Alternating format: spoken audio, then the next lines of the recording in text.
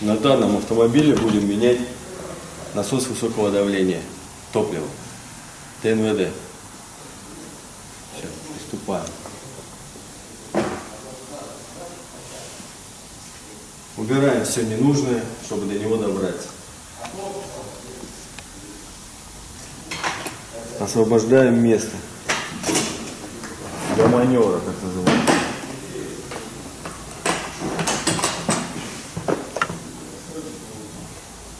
А не нужно это что? Не нужно это. Кулер.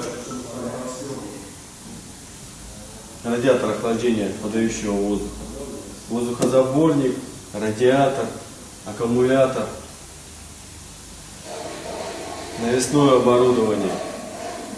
Вентилятор с муфтой. Ремень. Все. Приступили.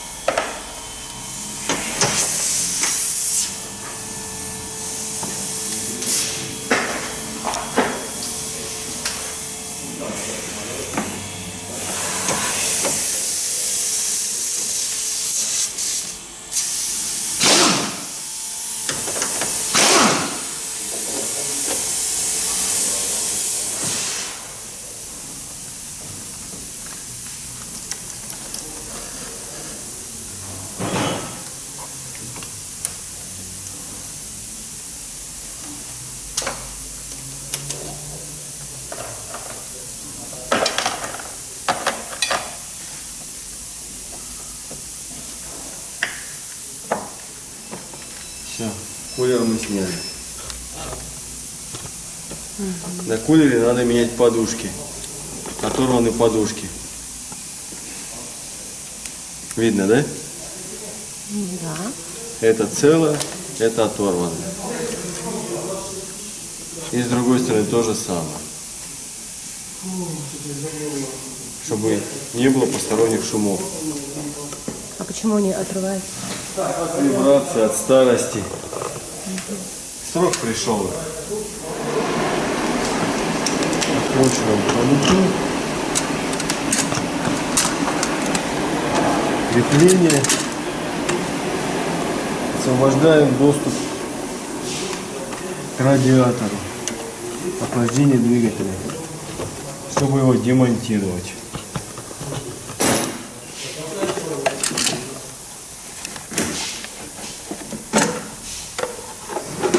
Снимаем кожу, кожу вентилятора.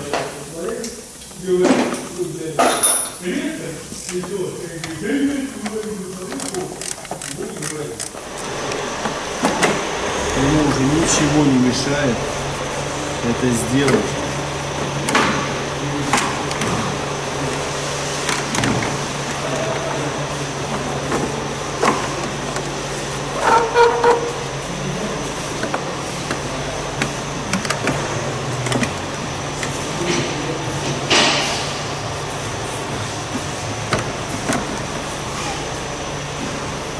Кожу доставить. Все, кожух вентилятора.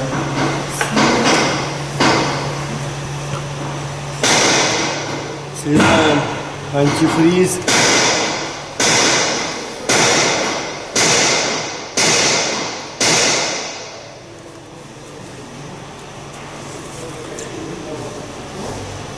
И пока антифриз сливается,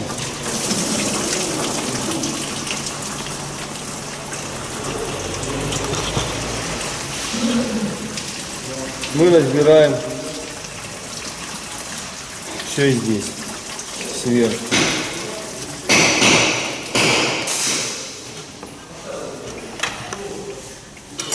Снимаем вентилятор, муфту.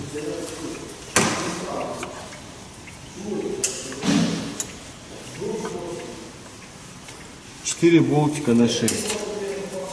ключиком на 10.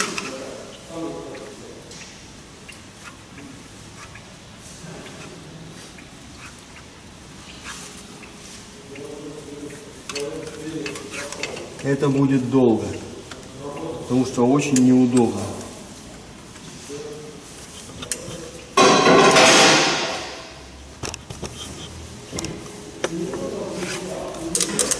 Руками не крутится, приходится ключом. Отключим последний болт муфты вентилятора. Все, снимаем муфту.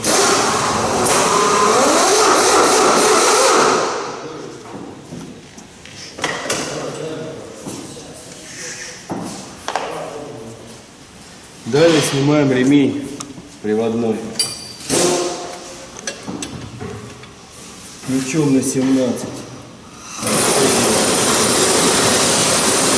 Полностью держите. И снимаем ремешок.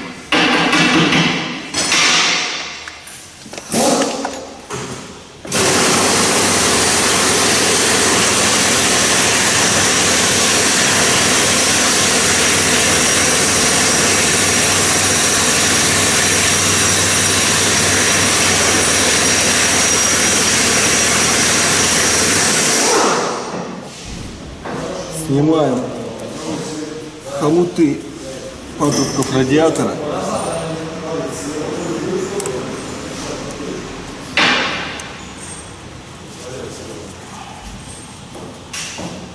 Самозажимные.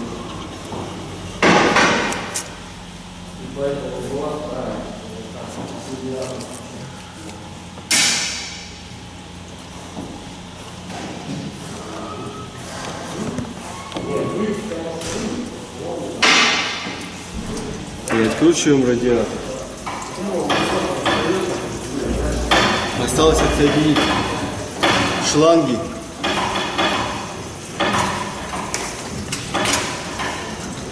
Охлаждение коробки.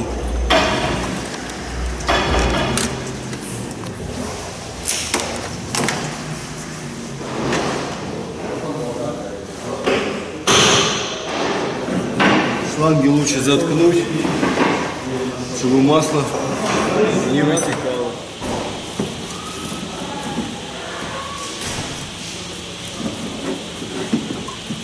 Так как он будет мешать. Вот такие вещи на радиаторе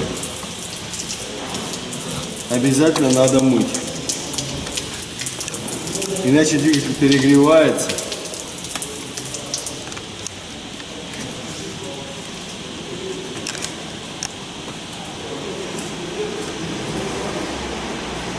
Доступ практически у нас открыт. Снимаем вот это вот все барахло, убираем в сторону. Провода. Снимаем патрубок. Он нам будет мешать. Кто-то не снимает. Мне удобнее снять.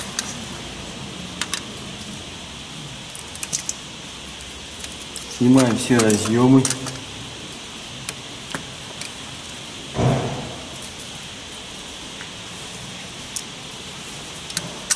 Провода держатся не только на разъемах, на крепежах, но еще и на клипсах.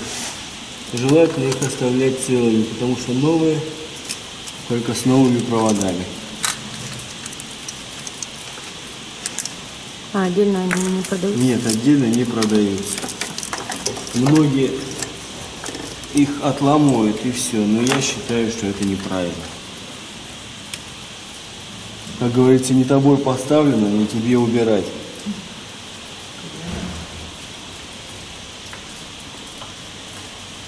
Все, снимаем патрубок. Заодно мы его почистим, чтобы здесь не подтекал антифриз в будущем. В принципе, доступ нормальный есть. Очень удобно. Гараже на коленях можно запросто сделать. Даже не в гараже. Но лучше обратиться тем людям, которые этим занимаются, если не каждый день, то почти каждый день.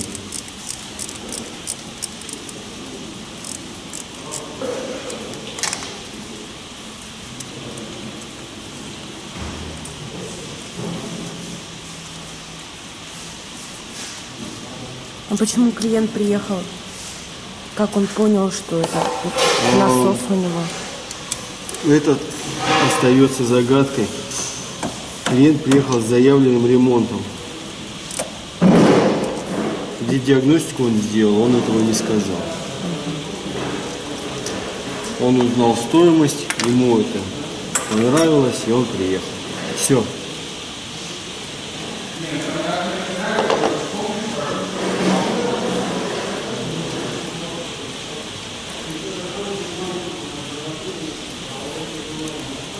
А Диагностика проводится на каком-то определенном стенде? Лучше, да. Лучше эти все дела делать на стенде. Тогда качество, а самое главное результат диагностики будет, будет как говорится, стопроцентным. А у нас эту услугу делают? Запросто. У нас есть очень квалифицированные люди, которые на дизелях собаку съели. У них стоит поучиться. Всем. Кто занимается. И почти всем. Кто занимается ремонтом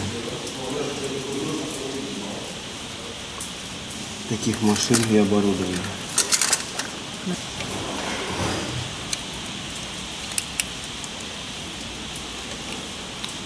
Снимаем разъемы. Питание с топлива высокого давления. И откручиваем трубку. Чтобы ее открутить, ее надо сначала открутить от рейки,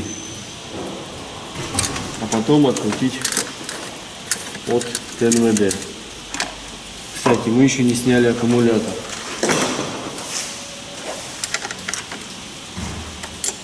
Порядок действий. Наличие аккумулятора до или после не имеет значения. Хоть в первую очередь.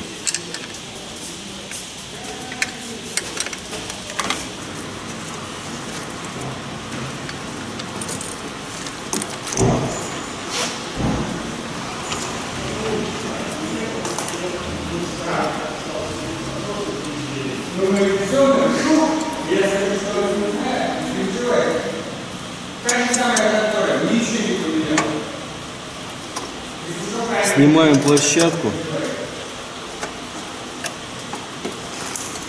для лучшего доступа. Площадку аккумулятора для лучшего доступа к болтам крепления ТНВД. Сняли пластиковую крышку, открутили топливную трубку.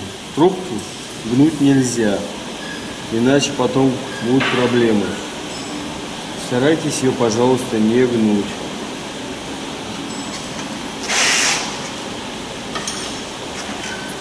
Все, откручиваем переднюю крышку.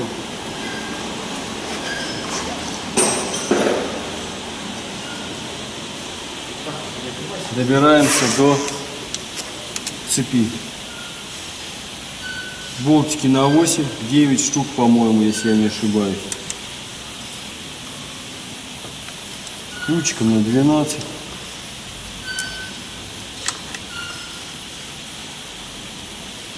Крышка герметизирована. Без прокладки. С помощью герметика.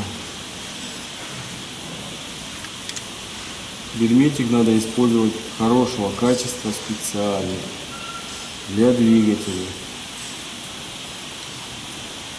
Силиконовый не подходит. Силиконовым дома будете. ванну герметизировать. И трубы канализационные.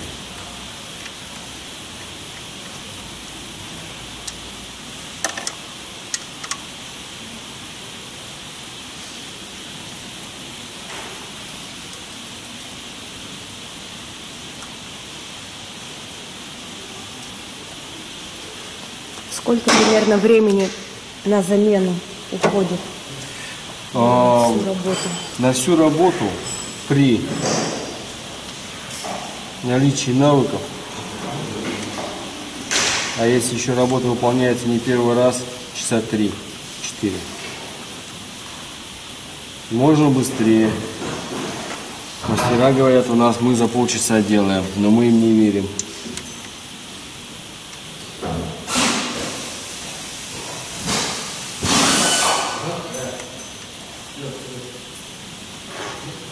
Оптимальное время 4 часа.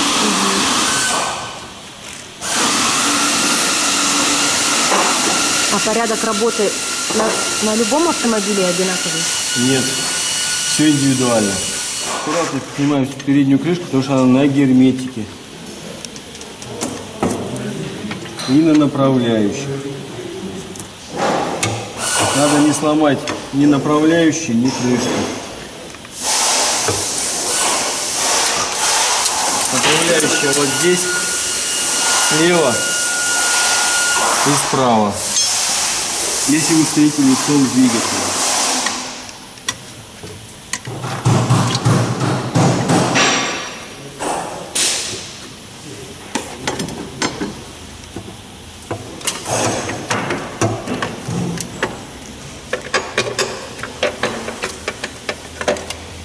Все.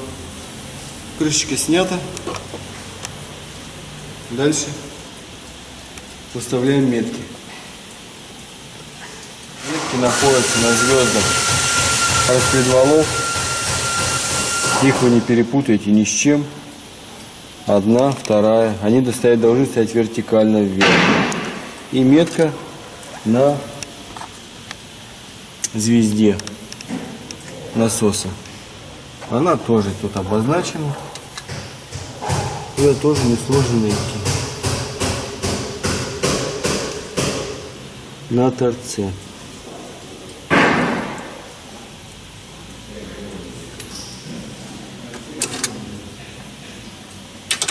Вот она внизу, если ее видно. Да, видно. Вот, она должна смотреть на этот болт. Эти метки должны смотреть вверх. Все крутим до тех пор, пока не совпадет.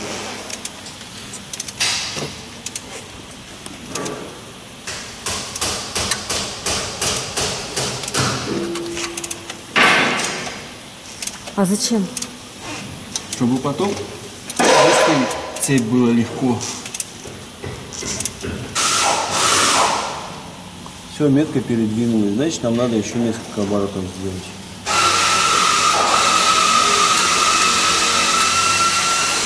На цепи есть метки. Они обозначены материалом другого цвета. Медно, одна метка. И вот здесь вот, вот.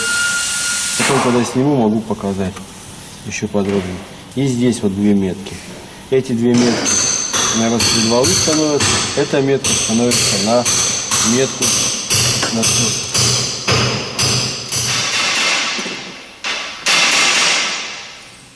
Вот метка, вот метка. Они должны смотреть вверх. У них здесь стрелочки есть на крышечке. Вот одна стрелочка, там вторая стрелочка. И Здесь отметки еще за. Их отсюда не видно. Вот. Смотрим дальше на метку на звезде ТНВД. Вот она. Напротив вот этого болта. Все. После этого мы можем смело снимать привод. То есть цепь. Порядок снятия совершенно любой. Да, еще забыл. Прежде чем снимать цепь, надо обязательно сорвать гайку на насосе ТНВД. Обязательно. Иначе потом ее просто невозможно будет сорвать. Срываем болт на 19 звезды ТНВД. Обязательно. После этого откручиваем и снимаем привод. То бишь цепь.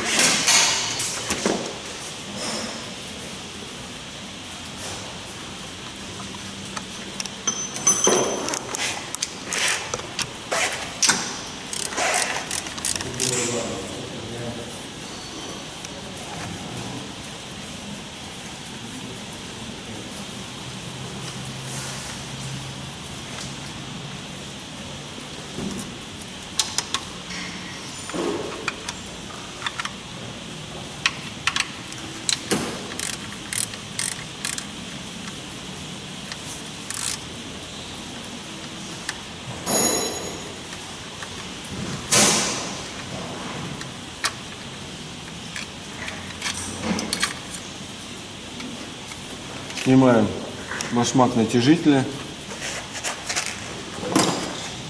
Снимаем успокоитель.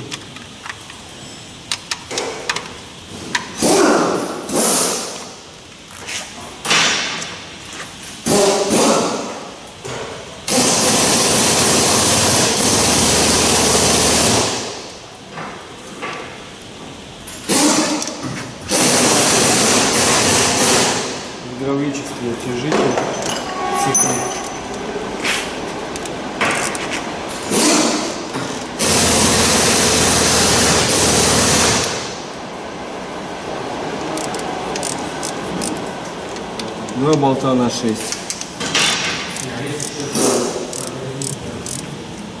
И снимаем верхний.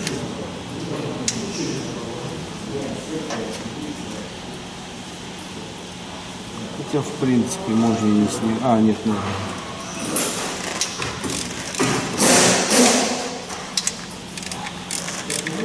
В общем, снимаем привод. РМ.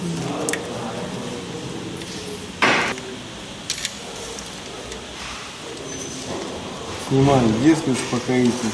Не вытащим между валов.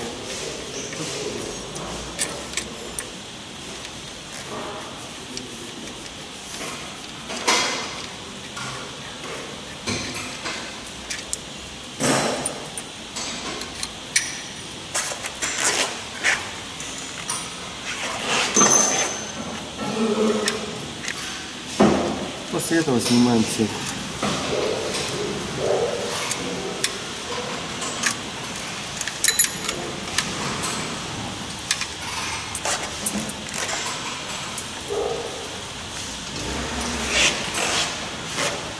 Берем съемник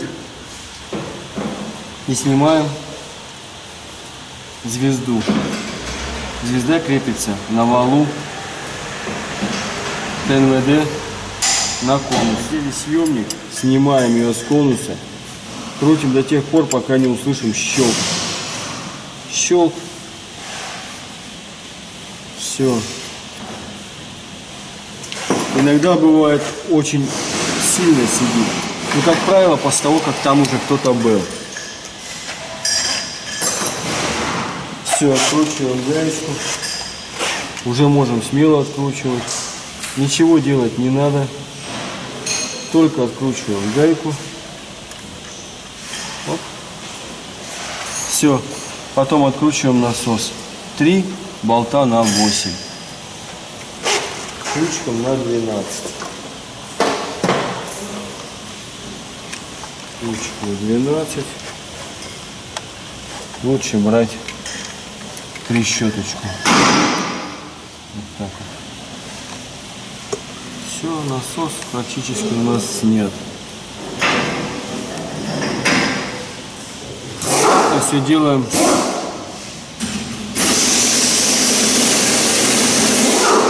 То есть собираем в обратном порядке, скажем так. Все. Насос выскочил. Дальше извлекаем его оттуда и несем в помойку. Ну или в ремонт. А как проверить, что он в нерабочем состоянии? Ну или в рабочем он? Его надо поставить на стенд, там его и проверить. Вот.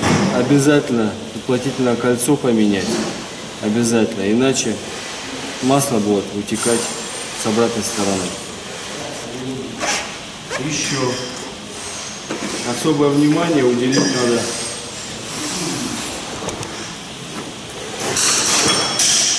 той запчасти, которую вы устанавливаете. Она, по крайней мере, должна быть хотя бы визуально похожа. Выводы смотрим, одинаковые, не одинаковые. Диаметры смотрим, конуса и так далее. Резьбы все неисправно. Может его валяли до этого много раз.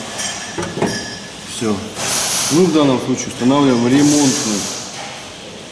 То есть бывший в употреблении, но отремонтированный насос высокого давления. Прежде чем установить, соответственно, поверхность надо почистить. Полегающую.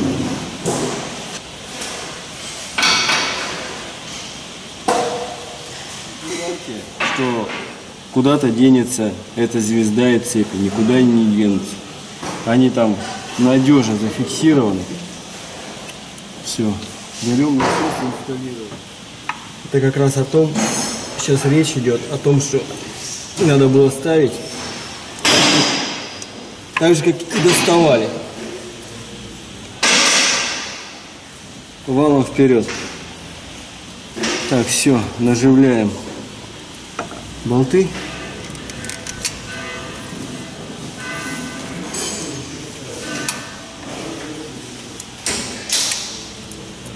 Сначала болты все наживляем, потом только затягиваем. Потому что если затянуть один болт, второй может не наживиться. Болты все одинаковые. Так что ошибиться у вас не получится.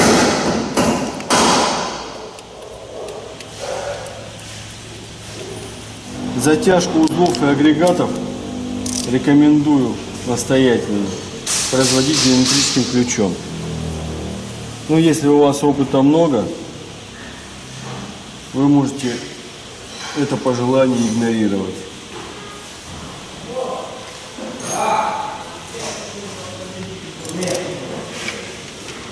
Гайку.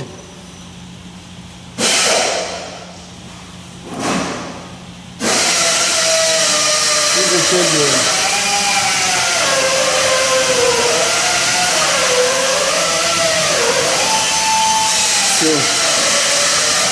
После этого производим чистку поверхностей, на которые будет наноситься герметик. Обезжиривать, наносить герметик,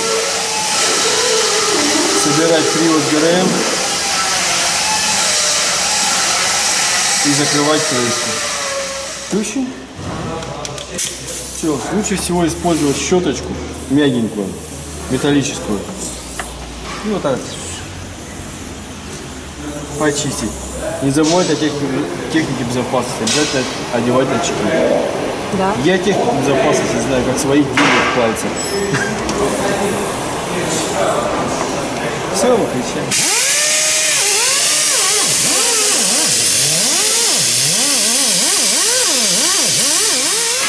Обезжириваем, замываем, всю грязь убираем.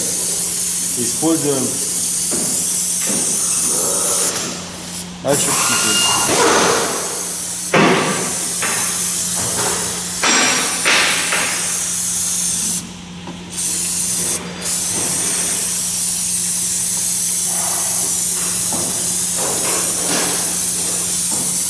Установили цепь в обратном порядке. Метки совпадают на звездах и на цепи. И здесь все совпадает.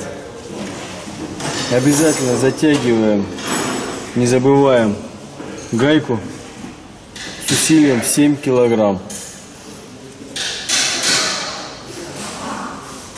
Все, продолжаем собирать дальше. Устанавливаем трубку подающую обратно. Сначала наживляем ее.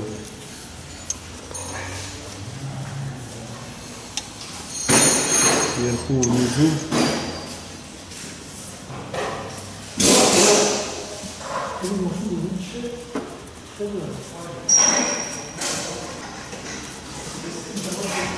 После того, как наживили, обжимаем ключиком. Не перетягиваем. Гаечки нежные.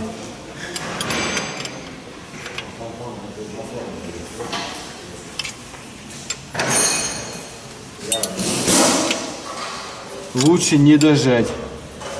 После запуска проверить, если стечь отсутствует, значит хорошо. Если появилась течь, просто дожимаем и все чуть-чуть.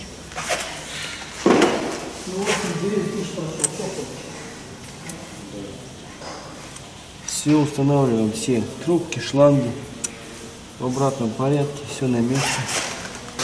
Обязательно проверяем, чтобы все защелкнулось, дабы исключить возможные утечки в будущем, после запуска. Или в конце концов, чтобы клиент ваш доехал до пункта назначения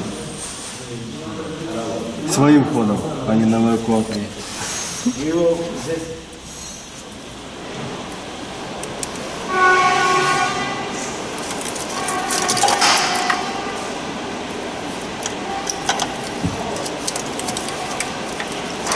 С разъемами никогда не ошибетесь. А они на автомобилях все разные. Записывать, запоминать не обязательно.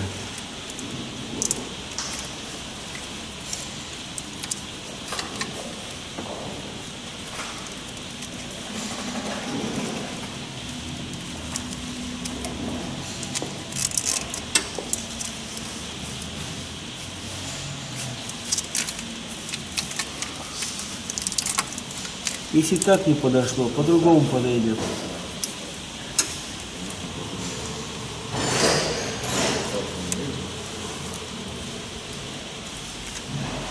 Все проверили, все на месте. Устанавливаем крышку, затягиваем на герметик и продолжаем сборку дальше. Обезжириваем крышечку, зачищенную предварительно от старого герметика.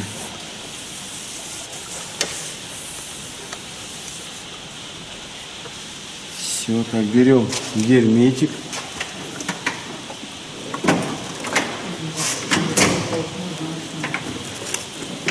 Скажу, надо брать герметик хорошего качества, чтобы машина к вам потом из-за пустяка не приехала. Все, и наносим герметик. Размазывать его не обязательно.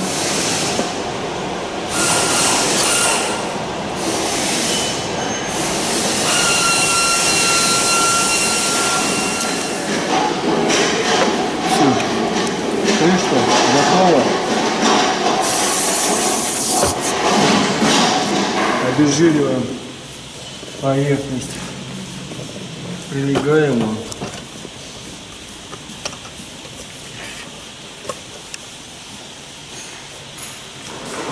Чтобы не было масла или грязи.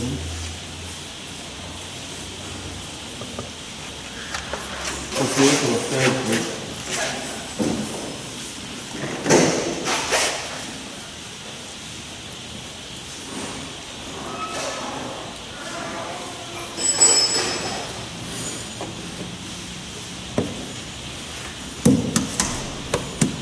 Все.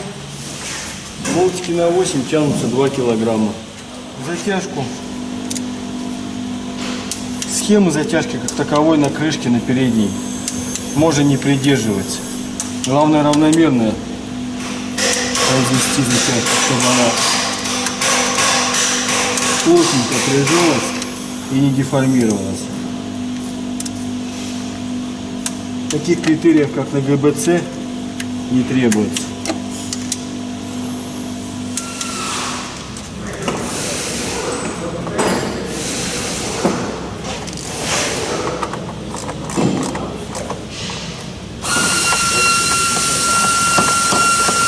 Машины приезжают с таким ремонтом?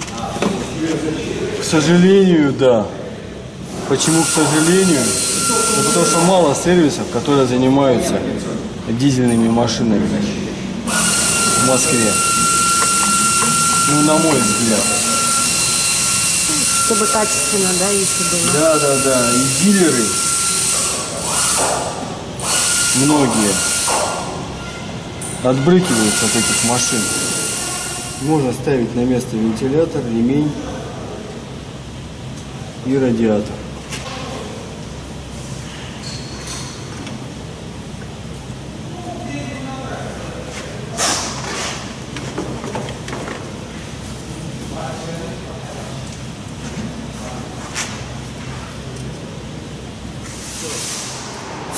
Протянули, ремень установили.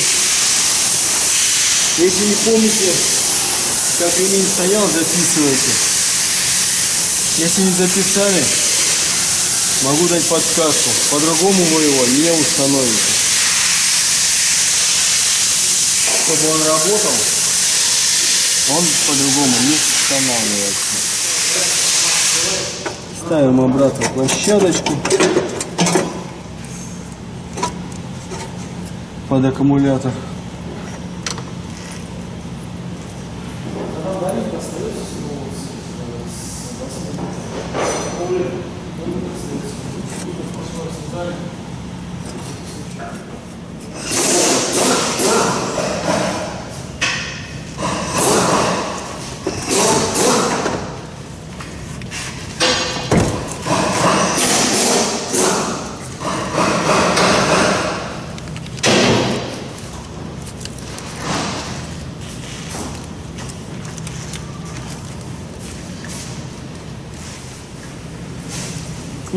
Помыли радиатор. Новым он, конечно, не будет, но охлаждатель двигатель будет гораздо лучше.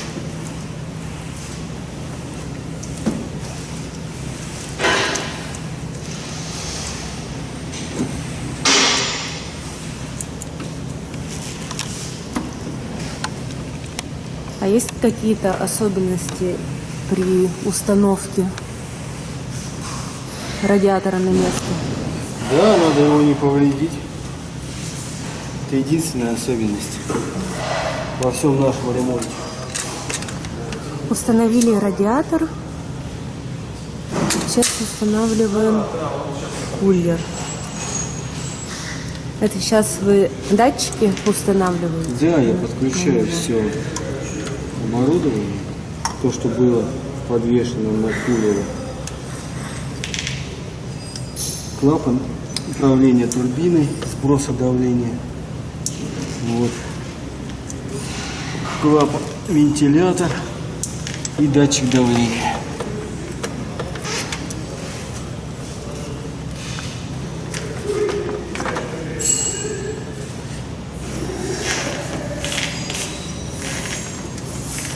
Вот так вот. Четко. Красота.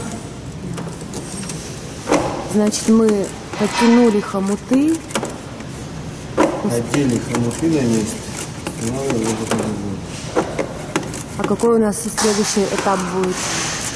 Залить антифриз Будем заливать антифриз. и запустить двигатель. Перед запуском, после замены ТНВД, лучше накачать топливо, если имеется такой насос. Потому что система без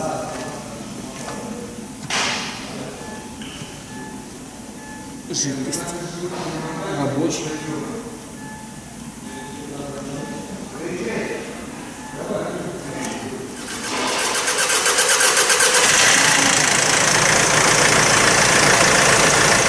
Нет утечек.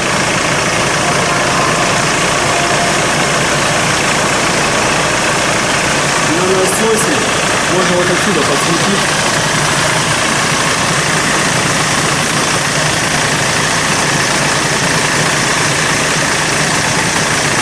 Вот. Трубка сухая, печи нету. Высокого давления.